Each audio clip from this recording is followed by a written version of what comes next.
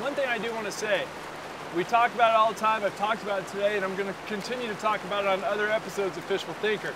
Casting accuracy is so important, but the accuracy doesn't do you any good if you can't see what you're trying to fish. And that's where my glasses come in today.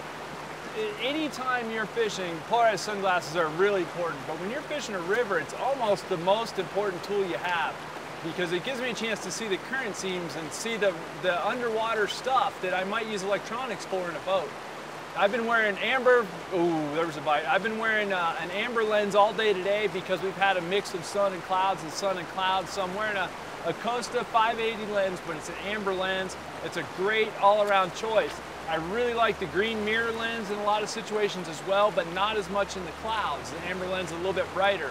So if you choose your sunglasses intelligently and use them in a river, it's gonna help you more than a lot of things. You compare, you know, you pair your good sunglasses your good visibility with uh, accurate casting, and that's how you're gonna catch a lot of fish.